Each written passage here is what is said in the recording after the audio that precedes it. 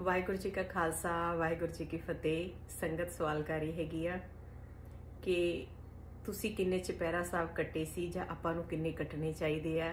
ਜਦੋਂ ਮਾਰੇ ਨੇ ਤੁਹਾਡੀਆਂ ਝੋਲੀਆਂ ਭਰੀਆਂ ਤੇ ਜਦੋਂ ਮੈਂ ਪੰਜਾਬ ਗਈ ਸ਼ਹੀਦਗੰਜ ਸਾਹਿਬ ਗੁਰਦੁਆਰੇ ਅੰਮ੍ਰਿਤਸਰ, ਮਹਾਰਾਜ ਦੇ ਸਥਾਨ ਤੇ ਮੈਂ ਇੱਕੋ ਚਪੈਰਾ ਸਾਹਿਬ ਕੱਟਿਆ ਸੀ।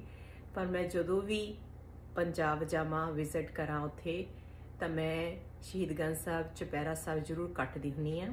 ਪਰ ਬਾਕੀ ਚਪੈਰਾ ਸਾਹਿਬ ਮੈਂ ਇੱਥੇ ਵੈਨਕੂਵਰ, ਆਪਣੇ ਕੈਨੇਡਾ ਦੇ ਹਿਸਾਬ ਨਾਲ 12 ਤੋਂ 4 ਆਫਟਰਨੂਨ ਉਹ ਟਾਈਮ ਜੋ ਸ਼ਹੀਦਗੰਜ ਸਾਹਿਬ ਟਾਈਮ ਦੇ ਹਿਸਾਬ ਨਾਲ, ਕੈਨੇਡਾ ਦੇ ਟਾਈਮ ਦੇ ਹਿਸਾਬ ਨਾਲ ਇੱਥੇ ਕੱਟਦੀ ਆ ਹੁਣ ਇਹ ਸਵਾਲ ਪੁੱਛਿਆ ਜਾਂਦਾ ਬਾਰ-ਬਾਰ ਕਿ ਆਪਾਂ ਨੂੰ ਕਿੰਨੇ ਚਪੈਰਾ ਸਾਹਿਬ ਕੱਟਣੇ ਚਾਹੀਦੇ ਹੈਗੇ ਆ।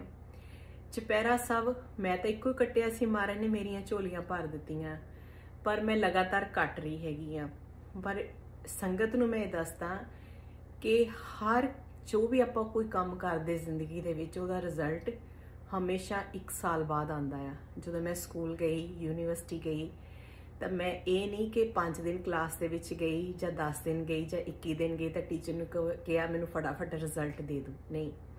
ਰਿਜ਼ਲਟ 1 ਸਾਲ ਬਾਅਦ ਹੀ ਆਇਆ, ਹੈਨਾ? ਸੋ ਇਹਦਾ ਵੇਟ ਕਰਨੀ ਚਾਹੀਦੀ ਆ।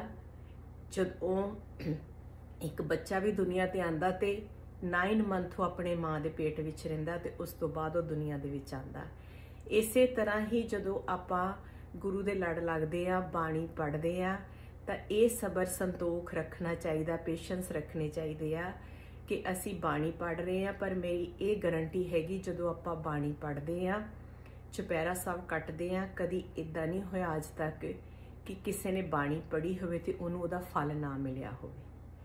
ਹਮੇਸ਼ਾ ਹੀ ਮਹਾਰਾਜ ਉਹਨਾਂ ਨੂੰ ਜੋ ਤੁਸੀਂ ਗੁਰੂ ਸਾਹਿਬ ਲਈ ਕਰਦੇ ਆ, ਮਹਾਰਾਜ ਹਮੇਸ਼ਾ ਉਹਦਾ ਫਲ ਤੁਹਾਨੂੰ ਦਿੰਦੇ ਆ ਸੂਨਰ ਲੇਟਰ ਹਮੇਸ਼ਾ ਮਿਲਦਾ ਹੈਗਾ।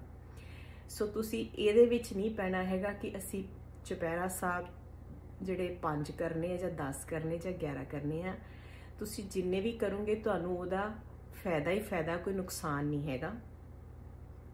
ਸੋ ਮੈਂ ਤਾਂ ਇੱਕ ਕਟਿਆ ਸੀ ਮਹਾਰਾਜ ਨੇ ਮੇਰੀ ਝੋਲੀਆਂ ਭਰੀਆਂ, ਪਰ ਮੈਂ ਲਗਾਤਾਰ 8 ਸਾਲ ਹੋ ਗਿਆ ਹੁਣ 8ਵਾਂ ਸਾਲ ਚੱਲਦਾ, ਕੱਟ ਰਹੀ ਹੈਗੀ ਆ। ਸੋ ਮੇਰਾ ਤੁਹਾਨੂੰ ਵੀ ਇਹੀ ਮੈਸੇਜ ਹੈਗਾ ਆ, ਜਦੋਂ ਆਪਾਂ ਗੁਰੂ ਸਾਹਿਬ ਦੀ ਬਾਣੀ ਪੜ੍ਹਦੇ ਹੈਗੇ ਆ, ਉਹਦਾ ਫਲ ਜ਼ਰੂਰ ਮਿਲਦਾ ਹੈਗਾ। ਹੁਣ ਮੈਂ ਤੁਹਾਨੂੰ ਨੈਕਸਟ ਵੀਡੀਓ 'ਚ ਦੱਸਾਂਗੀ ਕਿ ਜਿਹੜੀ ਜਪਜੀ ਸਾਹਿਬ ਦੀਆਂ ਪੰਜ ਬਾਣੀਆਂ ਆਪਾਂ ਪੜ੍ਹਦੇ ਆ, ਸੁਖਮਨੀ ਸਾਹਿਬ ਦਾ ਪਾਠ ਪੜ੍ਹਦੇ, ਉਹਨਾਂ ਦੇ ਬੈਨੀਫਿਟ ਕੀ ਹੁੰਦੇ ਆ ਉਸ ਬਾਣੀਆਂ ਦੇ। ਕਈਆਂ ਨੂੰ ਇਹ ਨਹੀਂ ਪਤਾ ਹੈਗਾ ਕਿ ਇਹ ਦੋ ਜਿਹੜੀਆਂ ਬਾਣੀਆਂ ਜਪਜੀ ਸਾਹਿਬ ਤੇ ਸੁਖਮਨੀ ਸਾਹਿਬ, ਇਹਦੇ ਅਲੱਗ-ਅਲੱਗ ਫਲ ਹੈਗੇ ਆ, ਪਰ ਇਹ ਜਦੋਂ ਕੰਬਾਈਨ ਆਪਾਂ ਕਰਦੇ ਆ ਤੇ ਇਹਦਾ ਫਲ ਜਿਹੜਾ ਦੁੱਗਣਾ ਤਿੱਗਣਾ ਹੋ ਜਾਂਦਾ ਹੈਗਾ ਆ।